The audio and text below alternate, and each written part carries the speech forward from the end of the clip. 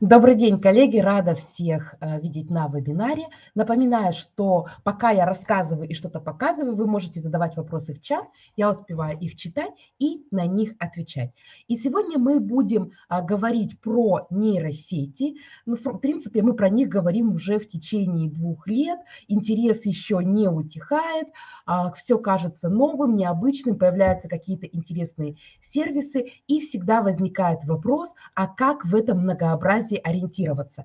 Поэтому сегодня я расскажу вам и покажу на конкретных примерах, как я подбираю нейросети для решения тех или иных задач. Ну и параллельно вы увидите множество сервисов, некоторые из которых наверняка покажутся вам полезными. Вот уже два года а, я и мои коллеги активно работаем с нейросетями. Сначала мы где-то осваивали иллюстрации, потом генерацию текста. Очень сильно помогает, как если ты боишься э, чистого листа, как это часто случается у меня, делали более сложные э, креативные проекты, и вот в последнее время добрались даже до создания роликов из сгенерированных изображений. И когда мы начинаем новый какой-то проект и говорим себе, да, мы возьмем на него нейросети, и они сделают нам все так, как надо, э, сразу звучит второй вопрос. А какую именно нейросеть мы можем выбрать из множества и почему это так сложно сделать. Вообще кажется, что чем больше инструментов у нас с вами есть, тем легче. Но на самом деле это не всегда так. Мы часто привыкаем к каким-то одним программам, одним сервисам и пользуемся им уже много лет. Я вот могу признаться, что я уже почти более 15 лет монтирую видео в одной и той же программе и ничего с собой поделать не могу. И когда мы видим вот это вот разнообразие, которое предлагают нам различные нейросети, нам кажется, что ой, из там 30, из 40, из сотни мы сейчас легко подберем для себя что-то подходящее. Но по сути вот эти подборки достаточно бессмысленны. Потому что для того, чтобы по-настоящему что-то выбрать, это нужно потестировать, обязательно попробовать руками. У каждого из нас есть свои специфические требования, которые авторы вот этих вот подборок 100 лучших нейросетей а, не знают. Да, они предлагают какие-то варианты, и это полезно для того, чтобы мы узнавали о существовании чего-то нового. Но без глубокого погружения а, все эти подборки сохраняются куда-то в закладке, а пользуемся мы а, двумя-тремя сервисами, которые нам кто-то показал буквально пошагово. Следующая проблема, которая возникает при выборе нейросети, это иллюзия того, что эффективность можно измерить, что мы можем найти какую-то рейтинговую таблицу, какой-то топ и взять из него только самое-самое лучшее. Но опять же, кто именно меряет и как он это делает? Для того, чтобы измерить эффективность работы нейросетей, генерирующих тексты, существуют бенчмарки, определенные рейтинговые системы, определенные показатели, которые а, между собой сравниваются. Но посмотрите вот на четыре верхние строчки этой таблицы. А, они вам о чем-то говорят? Вы можете по вот этой рейтинговой таблице понять, чем отличается, предположим, первая версия GPT от третьей версии, от второй, от четвертой или от той, которая находится на шестой строчке. Вот эти рейтинговые таблицы, как правило, составляются для специалистов, которые что-то э, разрабатывают, которые что-то внедряют, а для нас с вами они, по сути, не говорят ничего. Третья проблема – это иллюзия того, что мы вот сейчас действительно найдем что-то а, удобное, что-то классное, и а, с этим сервисом останемся навсегда. А, вообще мы считаем, что человек, который а, что-то разрабатывает, который вкладывает свои усилия, будет поддерживать этот продукт, ну, как минимум, если не навсегда, то в течение очень долгого времени. Но у нас э, немного сейчас другая экономика, экономика стартапов. И сервисы очень быстро появляются и также быстро исчезают. Вот когда появилась чат GPT, возникли же сотни, если не тысячи сервисов, которые работали на нем и умели читать PDF, анализировать их, а, сочетали там канву и э, чат GPT или чат GPT и какие-то другие посторонние сервисы. А потом в один прекрасный момент чат GPT обновилась, и все это начала уметь сама. множество сервисов после этого закрылись. Поэтому если вы находите что-то хорошее, не факт, что оно будет существовать достаточно долго.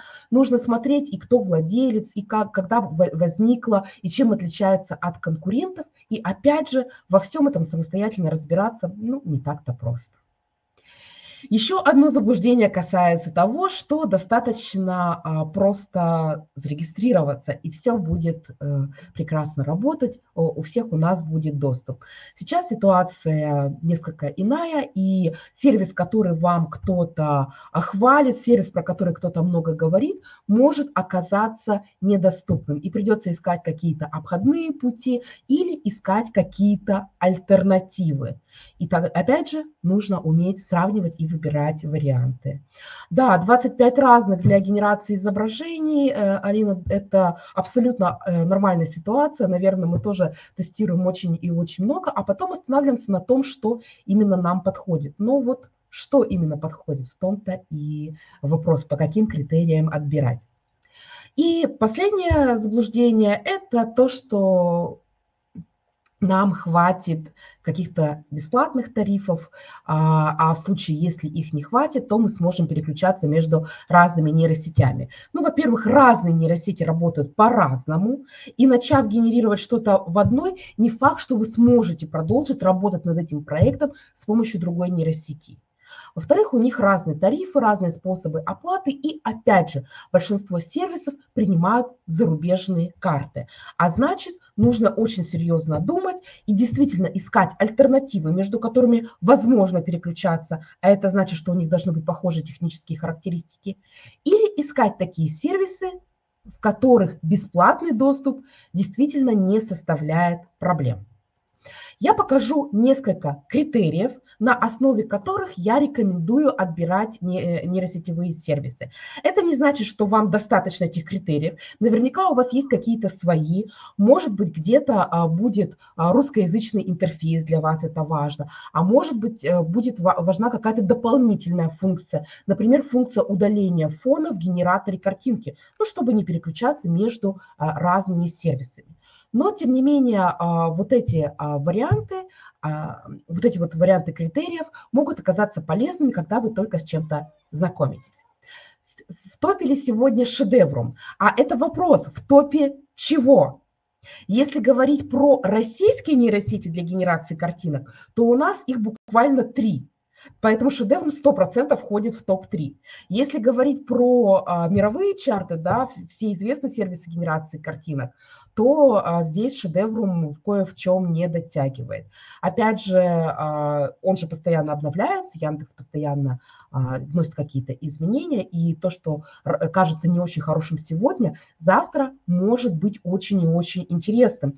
Поэтому любой сервис, даже если вы признали его сейчас для вас негодным, ну, условно говоря, выбрать для себя 7 критериев, по 5 он подходит, по 2 нет – это не значит, что от него нужно отказаться навсегда.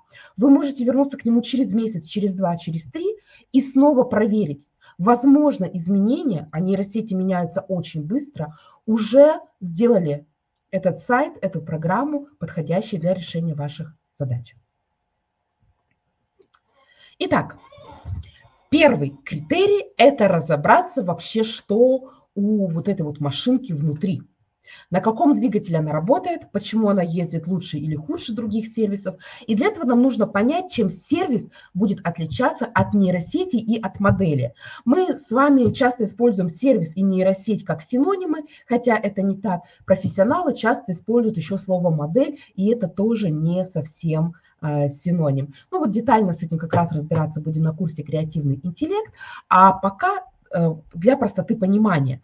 Сервис – это коробка, внутри которой лежит подарок. Вот этот подарок и будет нейросеть. Коробка может быть большой, маленькой, в ней может лежать сразу несколько подарков. Она может быть перевязана каким-то ярким бантиком цвета, который вам нравится, или быть, наоборот, э, максимально простой. Но в любом случае это всего лишь упаковка. Важнее то, какая именно нейросеть, какая модель находится внутри. И часто э, важно даже не только имя собственное, будь это GPT, Midjourney или какая-нибудь другая нейросеть, но и конкретная ее версия, потому что Midjourney 5 и Midjourney 6 – это все-таки большая разница. Особенно это важно, когда вы генерируете тексты. Модель может сильно-сильно отличаться от изменения ее версий. И э, часто люди, которые вот так э, начинают знакомиться с генерацией текстов через чат GPT, говорят, ой, что-то она какая-то глупенькая. А оказывается, они пользовались бесплатным сервисом, и там была чат GPT 3 и 5. По сравнению с текущей моделью 4 Omni, да, конечно, она может действительно показаться глуповатой. Поэтому каким бы сервисом вы ни пользовались, пользовались. Будет это сайт, будет это Telegram-бот, будет это какое-то стороннее приложение, всегда обращайте внимание на то, какая именно модель работает внутри него. На сайте вы видите те нейросети, с которыми а, мы работаем на курсе «Креативный интеллект». А, их кажется не так много, но каждой из них можно получить доступ а, совершенно разным образом. Часто от доступа зависят и их возможности. Поэтому в скобках написано, как именно вы можете получить доступ, а там уже от упаковки будет зависеть то, какие параметры и настройки вам доступны. И вот именно эти имена, собственные названия нейросетей, Dali, Stable Diffusion, а, Suna, да, Heigen и так далее, вот именно их нужно знать и в них ориентироваться. Второй критерий – это язык общения. Большинство нейросетей, включая российский гигачат и Яндекс GPT, обучались преимущественно на английском языке. Ну, это значит на 100% или почти на 100%. Несмотря на то, что с нейросетью Яндекса мы общаемся на русском, обучена она изначально на английском. Это легко заметить, если вы, в принципе, учили английский язык, можно видеть, как строятся фразы, а, как строится логика текста. Она действительно очень приближена к тому, э, как э, мы говорим на английском языке. И даже если нейросеть отвечает вам на русском, иногда можно заметить, что она как будто перевела ваш запрос на английский, ответила на английском, а потом перевела все обратно. А иногда мы видим, что нейросеть действительно понимает наш запрос на русском языке. А значит, что у нее есть возможность общаться на различных языках, может быть на французском, может быть и на немецком. Но в принципе, большинство нейросетей лучше всего понимают и качественнее выполняют задачу, если вы ставите ее на английском. А для этого вам достаточно Google переводчика или Яндекс переводчика. Дальше вы можете попросить нейросеть отвечать вам на русском и получить ответ в удобном вам виде. Но задачу лучше ставить на языке английском. И, кстати, может быть не только английский. Вот посмотрите на три сервиса, которые позволяют генерировать видео. Вот это Luma, а, она понимает запрос и на английском языке, и на русском языке. Попросили сигналы э, нейронов, и, в принципе, видео соответствует. Вот это а, Runway нейросеть, и здесь запрос уже на английском языке. Он написан под большим черным окном слева, Signal А, и мы тоже видим, да, что видео соответствует, но если в предыдущем мы видели нейроны, но не видели сигналы, а здесь просто идет пролет через нейроны, то вот здесь вот есть точка, которая обозначает импульс, который затем будет распространяться по нейронам. То есть на английском языке нейросеть поняла запрос лучше. А вот эта прекрасная нейросеть Klink, а, которая была обучена а, на китайском языке, и для того, чтобы получить а, у нее самый лучший результат, запрос лучше всего перевести на китайский. Особенно если у какой-то сложный, специфичный есть отношения между объектами. Я не знаю китайского языка, это просто машинный перевод, просто переведи, э, переведено то же самое предложение, и мы получили, э, в принципе, соответствующее видео. Обязательно ли VPN для чего? А, уточните, пожалуйста, потому что тут можно по-разному на, ответить на ваш вопрос. Если говорить про вот эти вот сервисы, то э, для большинства нейросетей, как я уже показывала, доступ да, из России ограничен, и э, нужно искать какие-то обходные пути. Для некоторых нейросетей, которые я сегодня показываю, нет, он не нужен. Например, вот эта вот нейросеть, которую сейчас видите на экране, Клинк, она работает э, для России в открытом доступе. Дальше. Следующий очень и очень важный критерий, на который почему-то редко обращают внимание, ну, возможно, потому что это э, немножко профессиональная вещь, это то, насколько большой промпт вы можете написать.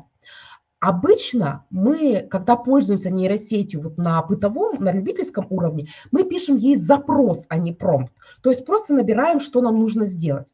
Промпт – это более такой серьезный подход, структурированный, форматированный, а, очень и очень а, объемный может быть сам по себе. И может содержать большое количество информации, например, целый скопированный, вставленный кусок некоторого документа. И вот чем длиннее вы можете этот промпт написать, то есть чем больше текста помещается в окне ввода, тем подробнее вы можете свою задачу описать. Чем подробнее вы опишете задачу, тем с большей вероятностью нейросеть выдаст вам э, правильный, подходящий результат быстрее, чем если вы будете есть этого слона по кусочкам. А еще в некоторых случаях важно подробно описать стиль. Например, вы генерируете специфический текст, и он должен там соответствовать вашей аудитории, соответствовать площадке. Там не должно быть слова «однако» или э, слово э, таким образом. А, и вы это все описываете.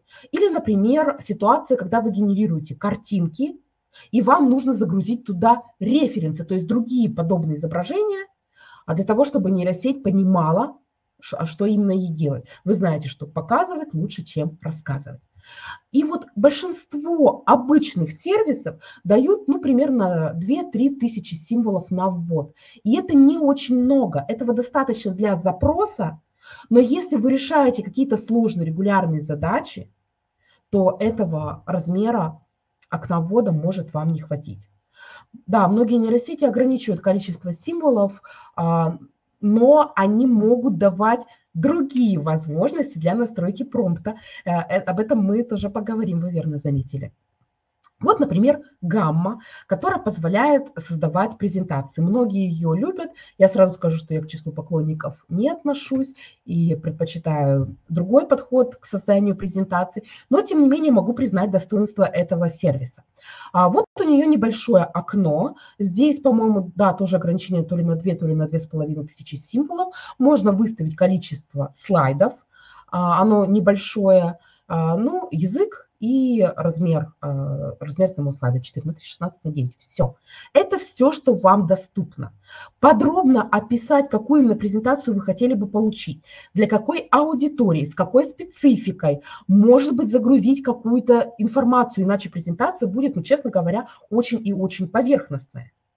А это сервис Преза. Мало того, что он бесплатный, так еще и посмотрите, помимо символов в окне ввода, вы можете прикрепить сюда файл с информацией, а в настройках вы можете дополнительно выбрать тон, то есть язык, которым будет писать нейросеть, и отдельное поле есть для описания аудитории.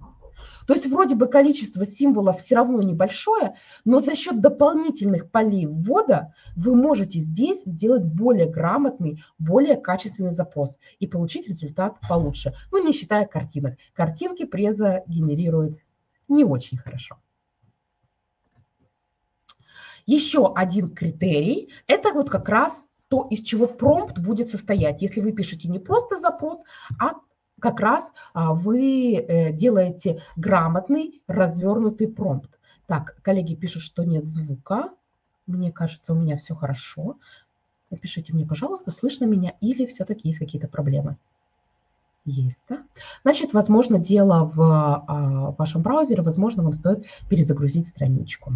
Напишите, пожалуйста, в чат. Итак, а, вообще у каждой нейросети есть свои особенности. И промпт, который очень хорошо работает в одной нейросети, может плохо работать в другой. Ну, например, а, есть э, такая особенность э, для генерации текста. Мистраль, э, например, предпочитает, чтобы самое важное было в начале, а чат GPT и другие подобные нейросети предпочитают, чтобы самое важное было в конце. Это, казалось бы, мелочи, но иногда они могут иметь значение. И хорошо, если, во-первых, сервис дает инструкцию, а во-вторых, если он помогает подсказками, какими-то кнопками, настройками быстро собрать правильный э, промпт.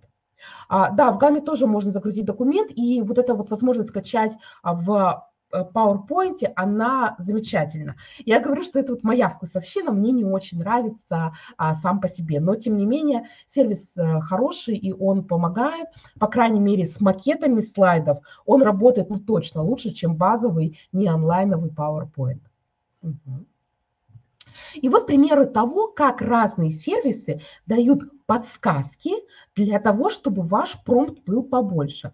Это Суна для генерации музыки, для генерации песен. Сверху есть поле промпта 3000 символов, а снизу теги. Нажимая на различные теги, вы можете собрать стиль вашей музыки и сгенерировать ее в том или ином стиле.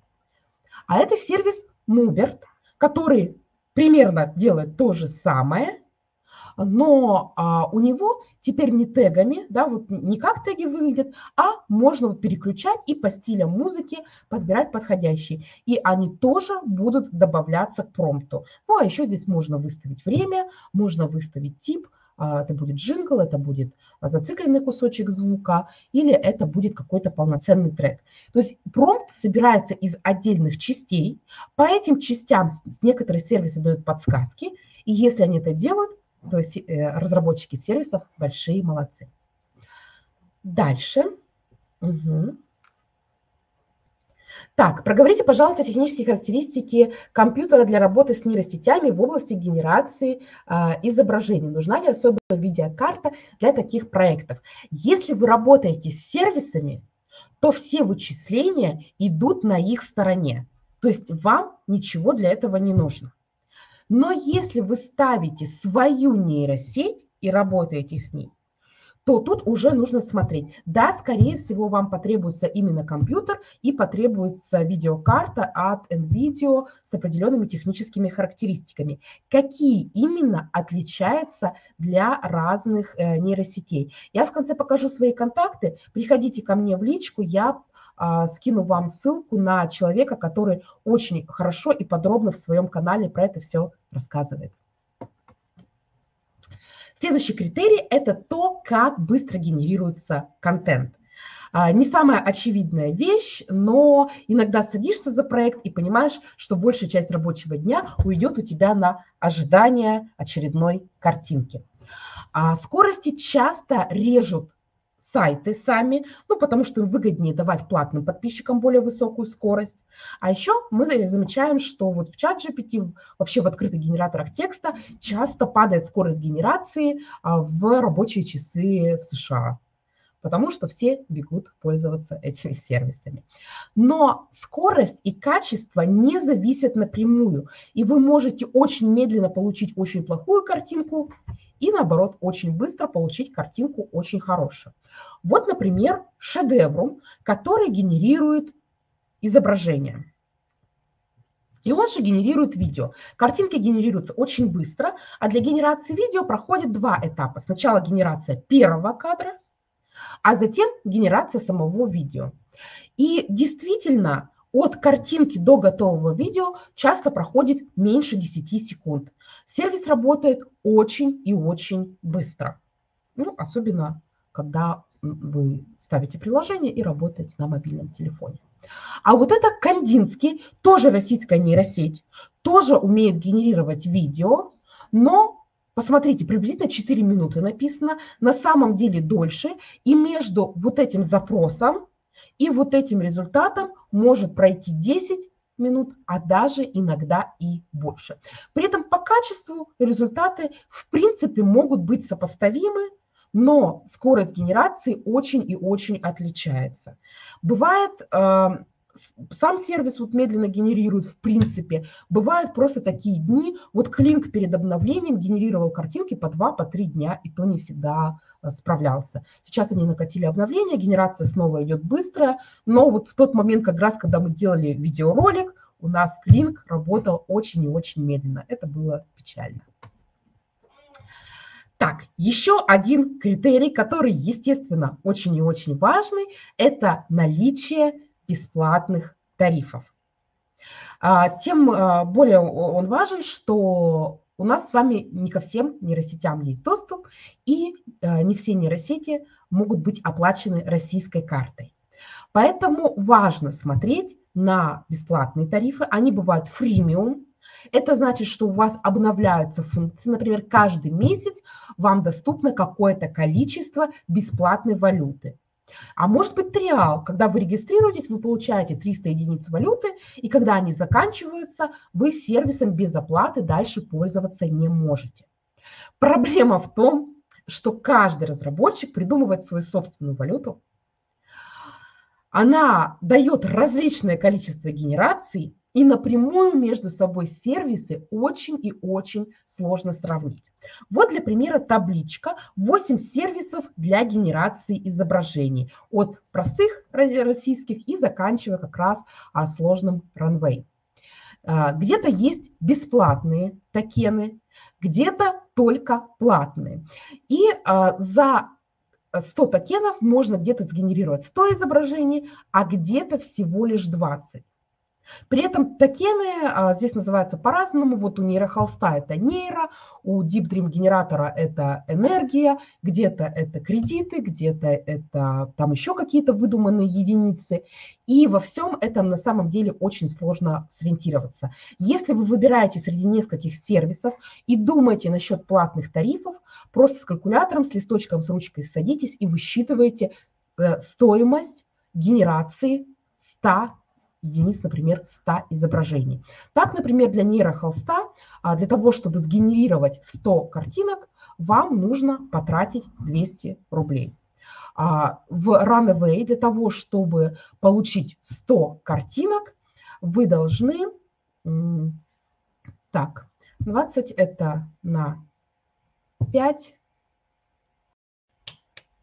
это значит, вам потребуется 500 токенов, и значит, примерно чуть меньше 15 долларов вам потребуется для генерации. А дальше садимся, сравниваем и решаем не только по качеству, но и по стоимости. Ну, а для всего остального есть генераторы э, агрегаторы. Агрегаторы – это сервисы, к которым подключено сразу несколько нейросетей.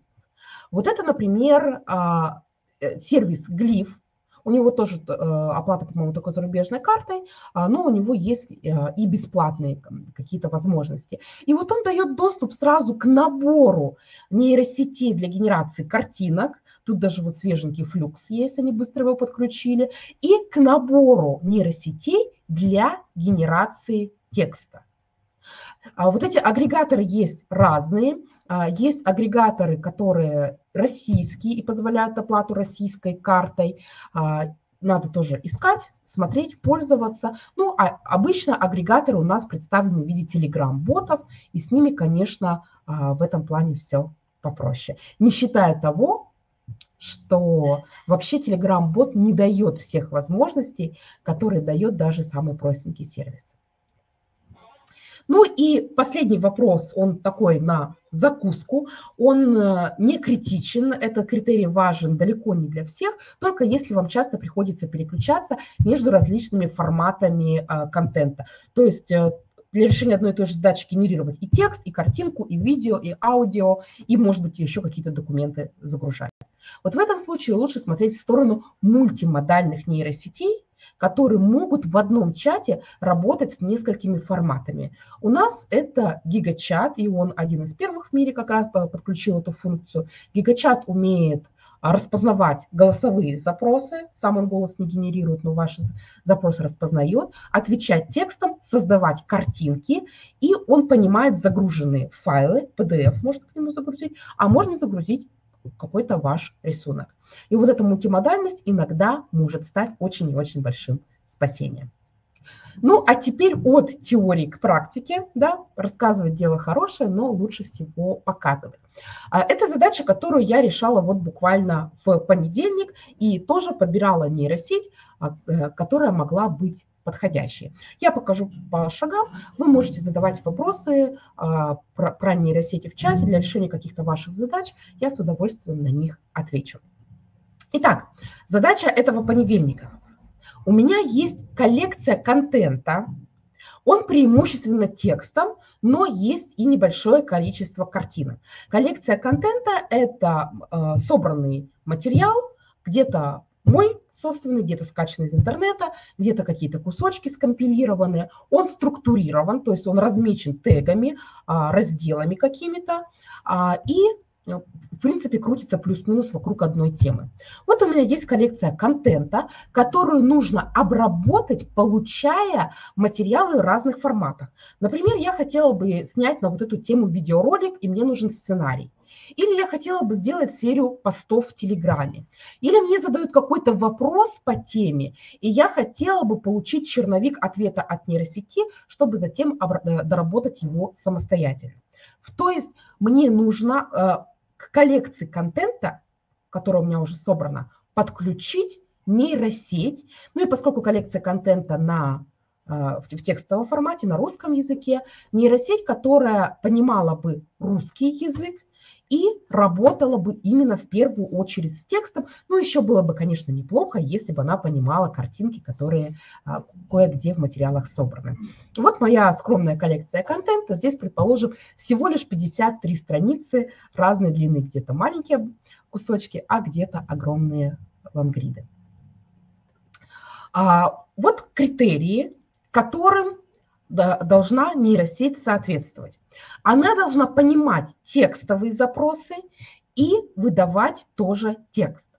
Она должна понимать русский язык, то есть не переводить с английского на русский, а сразу понимать запросы, сразу понимать на русском языке и писать именно со стилистикой русского языка, а не подлежащее сказуемое дополнение.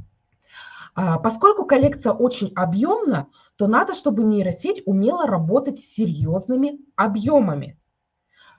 В нее можно было загрузить бы сразу несколько документов, и ответ тоже иногда нужен очень и очень длинный. А еще, поскольку я занудная и дотошна, мне нужно, чтобы в нейросеть можно было писать большие промпты, где я по шагам бы рассказывала, что нужно сделать, как нужно сделать, вот, и вообще учила нейросеть как правильно жить. Соответственно, у меня есть несколько кандидатов, с которыми я работала, с какими-то побольше, с какими-то поменьше, и могу их протестировать и проверить, подходят они или нет. Э, первый, э, то, что приходит в голову, это Telegram-боты, потому что они под рукой. Из них удобно оперативно получать информацию, если прямо сейчас надо что-то сделать. Но при этом они не работают с серьезным объемом. А, и а, в них нельзя загружать файлы для обработки. Поэтому Telegram-боты вычеркиваем. Следующий пункт – это гигачат, российская нейросеть, которую я вам только что показывала. Она мультимодальна, а значит будет и текст понимать, и картинки, которые встречаются в материалах. Но гигачат позволяет загрузить в один чат один документ а у меня их, напомню, 53 с хвостиком. И значит, что для каждого документа, по сути, мне придется создавать отдельный чат. А это неудобно, особенно если понимать, что самое интересное часто находится на пересечении материалов. Следующий – это все gpt.ru. Это как раз российский агрегатор нейросетей, он платный, но при этом спокойно оплачивается с российских карт. А, я его нежно люблю, потому что в него подключены совершенно разные нейросети. Сегодня хочу работаю с нейросетью от Google, завтра хочу работаю вот с ChatGPT, послезавтра захотела поработать с какой-то экзотической российской нейросетью, не вопрос. А все GPT дает это. Но у него нет а, базы знаний для хранения. То есть я не могу загрузить туда все свои документы и потом просто в чате к ним обращаться. Всем хорош, но вот это, конечно, большой минус. Зато такая функция есть у чат GPT. К нему можно получить Э, доступ бесплатный, но на платном доступе у него как раз появляется возможность создания вот таких вот небольших, ну, до 500 документов баз знаний, а потом э, с ними можно регулярно работать. Это как раз то, что мне нужно, но при этом доступ платный, и он получается э, заметно платный для решения э, каких-то задач. Ну и э, доступ, конечно, будет в обход, потому что сам сайт в России заблокирован. Идеально, конечно, было бы, если бы он был открытый, бесплатный, и еще можно было где-то давать доступ к этой базе знаний коллегам. Поэтому я тестировала новый сервис. Не сказать, что он прям совсем недавно появился, про него был какой-то бум постов о том, что он умеет делать подкасты. Потом оказалось, что подкасты он только на английском языке делает, и про него немножко забыли. А тем не менее, сервис прекрасный. Он называется ноутбук ML. Это сервис от Google. Он сейчас бесплатный, доступен всем, у кого есть аккаунт. Мы надеемся, что он как можно дольше, а может быть и навсегда будет бесплатный. А, у него можно загружать в базу знаний файлы, 50 файлов и до 1000 отдельных текстовых сообщений. Давайте посмотрим, как этот сервис выглядит. А, это главное окно, вы нажимаете «Попробовать ноутбук LL», э, э, и дальше а, вы просто через аккаунт а, Google подключаетесь. Внутри он состоит из блокнотов. Вот как раз один блокнот – это одна коллекция контента. Несколько вам даются как тестовые, чтобы вы а, попробовали и приноровились. А дальше вы можете создавать свои собственные. Вот у меня две собственные по современным образовательным технологиям и по презентациям. Дальше в них лежит некоторое количество источников. И выглядит внутри это вот так. В новый блокнот вы можете перетащить файлы, он понимает PDF, он понимает просто текстовые файлы, и он понимает аудио. То есть вы можете какие-то голосовые или аудиодорожки вебинаров тоже туда перетащить. Плюс можно сразу выбрать напрямую файл на Google диске. И на Google диске можно, кстати, выбирать презентации. Он тогда будет понимать, из чего они состоят. Вы можете дать ссылку, он сам скачает файл из интернета, или вы можете просто скопировать вставленный текст, если он у вас еще ни в какой документ не оформлен. Он загружается, и на левой панели, на панели источников у вас появляется вот такой вот список. Обратите внимание, что э, документы отмечены галочками. Это значит, что вы можете выбирать, с какими именно документами вы сейчас работаете. Снизу у вас находится чат, он сейчас э, свернут, это обзор блокнота. И можно быстро нажать на вот горячую, э, на горячий вариант и получить ответ на какой-то вопрос. Например, руководство для изучения материала. Вы собираете материалы для своих студентов и сразу нажимаете руководство для изучения материалов, и студенты получают гайд, что в каком порядке изучать. Краткий обзор, хронология, содержание, ответы на частые вопросы. А, можно просто в чат написать свой вопрос, а, например, что ты думаешь по поводу таксономии Блума, и ответ на этот вопрос нейросеть найдет в ваших документах. И вот тут внимание. С одной стороны это плюс, с другой стороны это минус. А, нейросеть от Google, которая сюда подключена, она называется Gemini, работает в данном случае только вашей коллекцией контента. Она не ищет дополнительную информацию в интернете. Она не ищет информацию в каких-то своих знаниях, на которых ее изучали. Все ее ответы строго на том, что вы добавили в этот блокнот. Это плохо, если вы, например, хотели бы найти э, список литературы или а, ответ в интернете, но хорошо для того, чтобы убедиться, что информация верифицирована. Впрочем, это не освобождает нас от ее проверки. И вот посмотрите, я загрузила в ноутбук а, сейчас документы, которые мне нужны, отметила галочкой те, которые подходят под мою тему, предположим, я хотела бы получить сценарий вебинара, написала в чате как раз свой запрос, составь план на такую-то тему. А, план по, тоже по вопросу, который часто задают, и запустила работу. В ответ я получаю план вебинар, который я, кстати, могу сохранить тут же внутри блокнота. Он уйдет в одну из тысячи заметок. И затем с этим планом я тоже смогу работать. Вот он, видите, на экране. А, качество я оцениваю пока как среднее, ну, скажем, 6-7 из 10, а, но хорошие качественные промпты, подбор материалов, по которым нужно генерировать, эту ситуацию исправит, и в принципе с этим блокнотом можно работать. А, вот очевидное применение, э, то, что мы проговаривали с коллегами, это загрузить материалы какого-то курса, да, каких-то лекций, а потом быстро получить ответы на а, типовые вопросы. Перефразируют термины или а, нет. Целом, вот то, что я наблюдаю, это достаточно точное соблюдение того, что у меня написано в документах. А, вообще снизу вот в чате написано, пожалуйста, проверяйте информацию. И, конечно, стоит следить и проверять, но в целом достаточно точное соответствие тому, а, о чем я писала вот в каких-то файликах. Так что вот новый инструмент в мою копилку, протестирован, при, признан для а, чего-то а, годным. А, и надеюсь, что вы его попробуете, потестируете. А, мне кажется, это то, чем нужно пользоваться. Я не понимаю, почему все говорят, что вот ноутбук или хорошо делает э, подкасты, когда он э, вот прям совсем-совсем для другого создан. Так, где я храню коллекцию контента? Я храню коллекцию контента вот здесь. Вот это скриншот моей коллекции контента. А, сервис называется Capacities.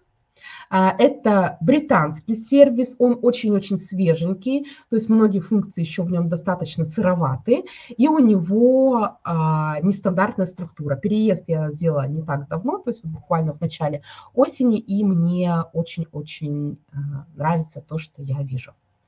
Но он не похож по логике хранения ни на Evernote, ни на Notion, ни на аналоги. У него а, немножко другая структура. И вот для того, как я работаю с материалами, она хорошо подошла.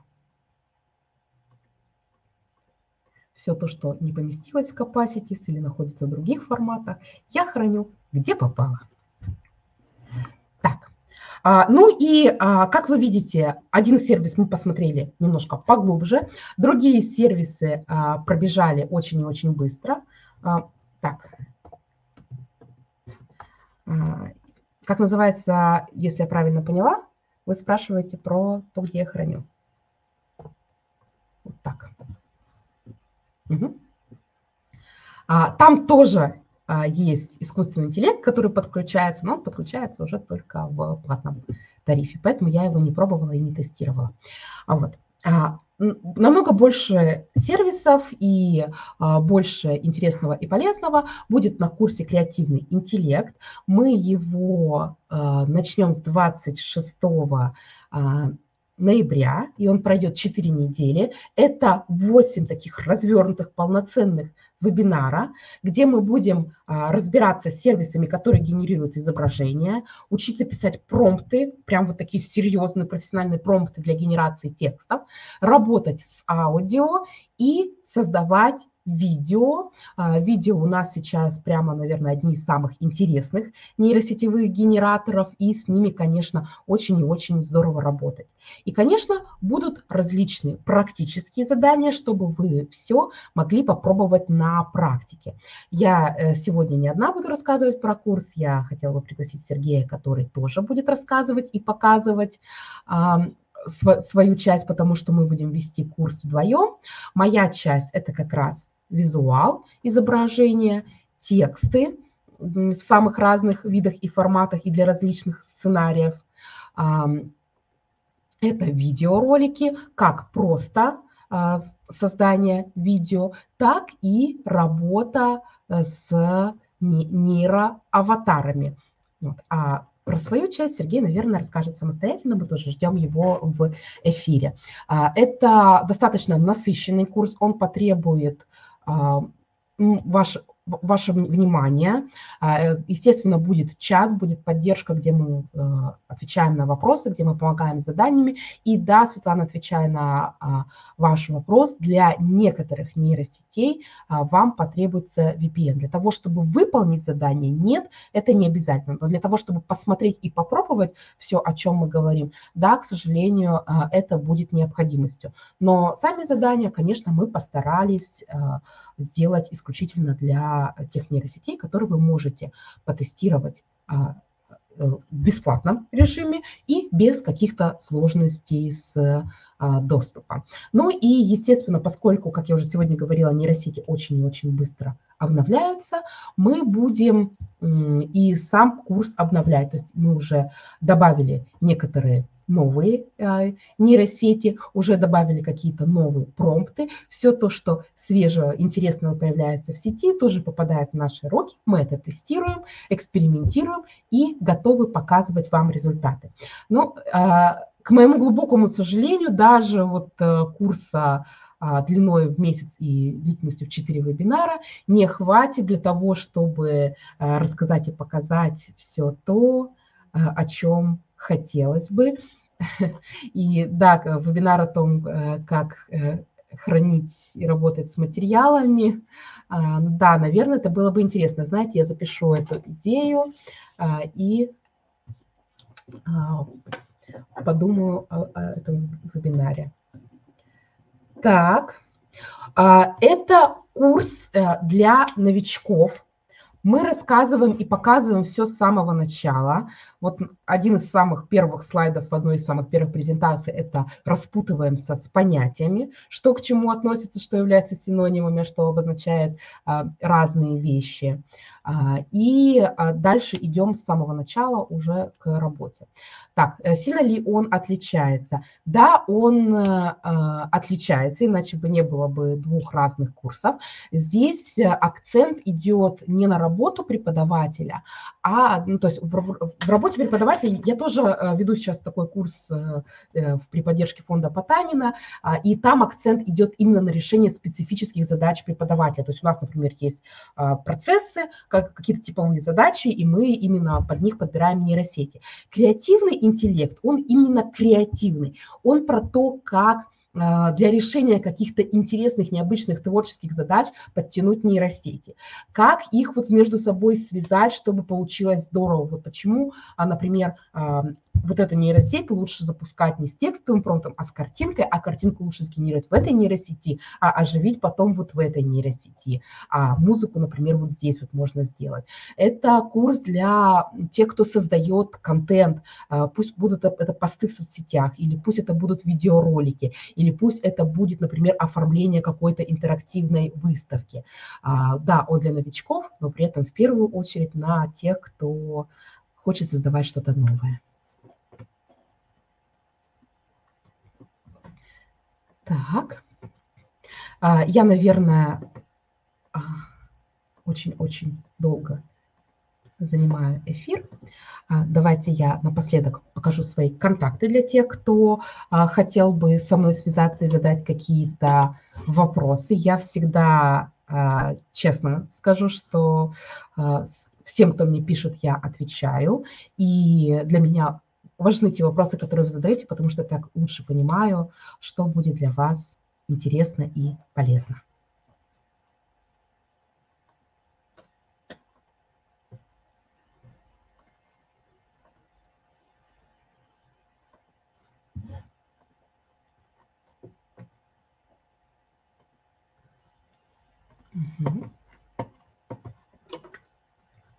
Отлично. Так.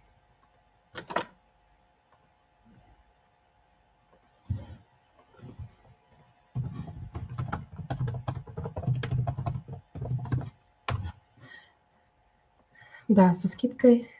Да, наверное. Э, наверное, да, она, мне кажется, истекла вчера. Вот, поэтому сохраняйте мои контакты, когда в следующий раз у вас будут вопросы, а, будет ли вам полезен какой-то курс, вы всегда сможете написать мне напрямую, ну или задать какой-то вопрос а, на лендинге наших курсов. Так, хорошо. А на этом все, что я вам хотела рассказать, то, что хотела показать, я закончила. Мы, думаю, нужно подождать немного, выйдет ли Сергей, расскажет ли он про свою часть курса. И если нет, тогда бы я передала слово Татьяне.